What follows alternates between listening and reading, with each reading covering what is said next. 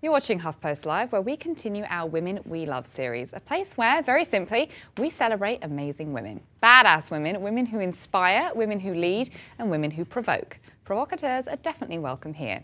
Now, Josette Sheeran is not only one, is not one to shy away from taking the top seat at some of the most high-profile negotiation tables in the world of business, finance, and philanthropy. She was formerly the vice chairman of the World Economic Fund, has championed for the world's poor as executive director of the United Nations World Food Programme, and is currently the president and CEO of the Asia Society. And she joins us now. Thanks for being with me, Josette. Thanks. She had just finished traveling throughout India and meeting with sex workers and women and boys who had been trafficked for uh, sex purposes.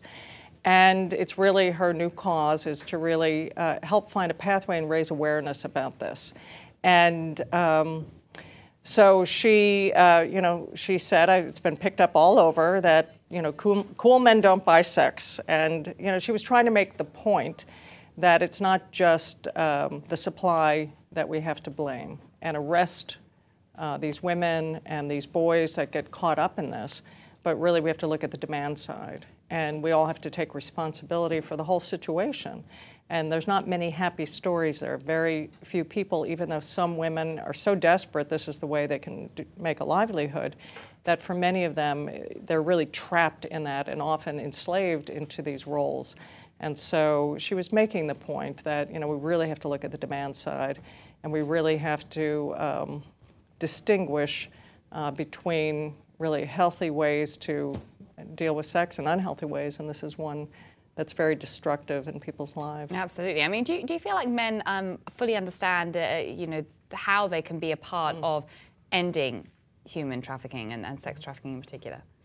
Well, they don't. And you know, one thing we found at Asia Society is again, if you take any challenge humanity's facing and opportunity, the biggest economies in the world, the most dynamic economies in the world are all emerging in Asia.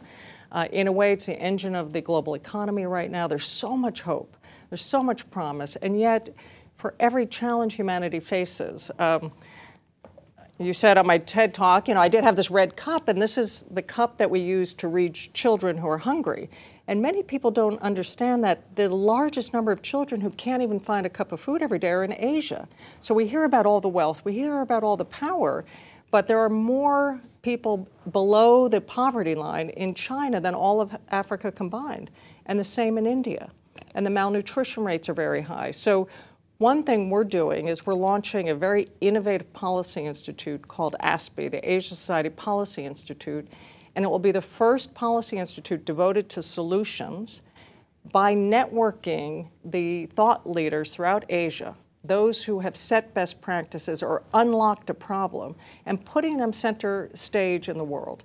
So bringing these stories out from the front line about how uh, Thailand, for example, cut malnutrition in half in three years. How did they do it? And let the nations of Asia learn from that. Uh, China has ended famines. Um, this is phenomenal, and those stories can be told. And so some of the most exciting work we'll be doing is really looking at not only how you resolve conflict on the front lines, as we've done uh, in discussions with Iran and Myanmar, and I just got back from North Korea and other places, but also how we solve some of these fundamental problems as we find we have the resources to do so. I think it's a very dangerous subject. I think it's a horrible subject. Um, I don't think really that you know anybody I think even as we, we as Americans just sort of want to turn our eye to it because it's here as well.